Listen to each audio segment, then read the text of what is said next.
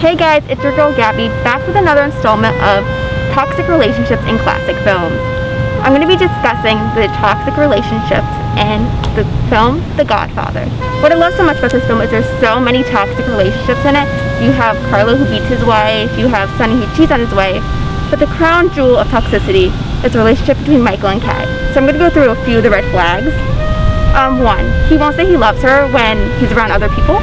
She calls him on the phone and basically begs for him to say that he loves her, but because he's around his family, he refuses to do so.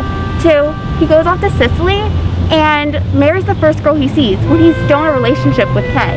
She's back home, worried sick about him, trying to get in contact with him, and he just goes to marry someone else. And three, the final scene of the movie consists of him telling her that she can ask about his business just one time, and then he looks her straight in the eyes and lies to her. Talk about gaslighting. So that's a wrap on the toxic relationship for today. Let me know in the comments what you guys want to hear about next week.